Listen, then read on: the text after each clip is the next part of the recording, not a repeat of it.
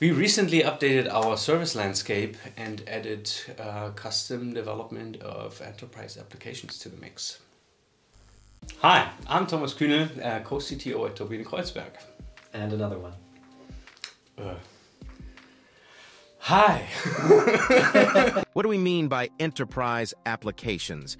Enterprise applications is something I had to look up on the internet. Um, and according to the internet, it is uh, applications that support an enterprise in actually doing what they do.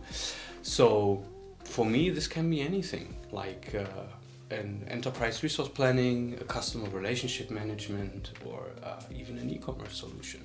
Why is custom development like this becoming more relevant today? Companies grow their technical infrastructure bigger and bigger because they have uh, direct to customer sales, uh, they have e commerce solutions, marketplaces, even. So the demand for various pieces in that IT landscape uh, becomes bigger. And uh, there's also uh, a need for interaction between all of these components. And then there's lots of legacy systems combining everything usually requires not something off the shelf, but something that is custom developed because it can be developed a lot quicker and it can be adjusted a lot easier. How does custom development benefits flexibility? Well, the flexibility comes from the uh, the way we can actually uh, act for change, right? That's our core business in development. We build software made for change. That's what we do. If you buy something off the shelf, it needs to support a lot of different businesses. So making changes is hard. But if you have something custom developed, um, it is fit for your purpose and it can be changed to whatever changes you want to have. Who benefits from this kind of custom development? I cannot say for sure. It can be uh, any company from small size to big corporations.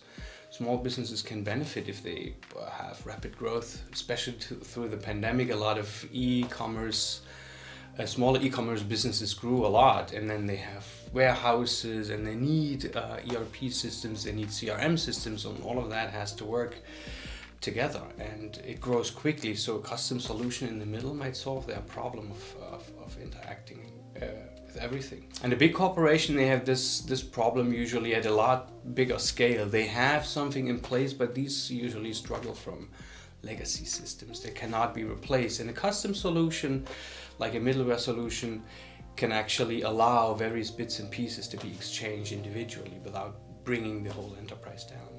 What are examples of custom applications we have built? We've done a bunch. Uh, we've done a uh, enterprise service bus like solution that sits in the middle and harmonizes data from various sources and provides them to a lot of uh, e-commerce uh, outputs. Uh, we did a pricing service that we extracted from an e-commerce solution with hundreds of millions of prices that can now be accessed by various uh, systems in the IT landscape of our customer. And another example is a sourcing portal, so like a user interface for employees where they can uh, source parts um, that are required by customers that upload bill of materials and then they can easily find this using this portal. Any kind of uh, e-commerce application, be it a marketplace, a B2B, a D2C, a B2C can be an enterprise uh, application. What's in our tech stack for enterprise application development? We uh, base a lot of our development on PHP. There's developers available a lot, which is a big problem recently. Um, so yeah, some uh, development happens in PHP. We have uh, Node.js and TypeScript applications, relational databases like MariaDB, Postgres. We use document databases like Redis um, and Elasticsearch or Cassandra for bigger scale. Um, message brokers, of course, for um, applications like RabbitMQ or Kafka. Yeah, and whatever is necessary to solve the problems. So. Oder? Also mega. Ja.